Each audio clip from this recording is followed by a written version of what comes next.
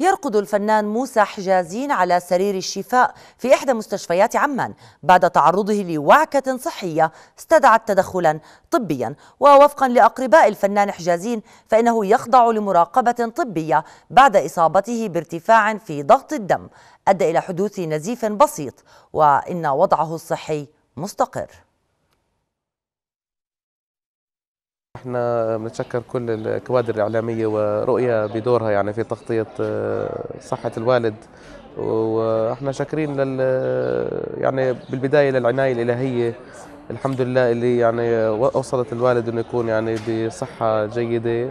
وضعه مستقر الآن بنطمن الجميع وكل المحبين والأشخاص اللي يعني بدهم يطمنوا على حالته الصحية.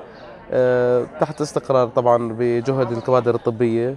والعاملين يعني بالمستشفى صحته الآن عم يعني عم بتكون آه، من أحسن لأحسن. خلال 24 ساعة القادمة راح تتجاوز مرحلة الخطر.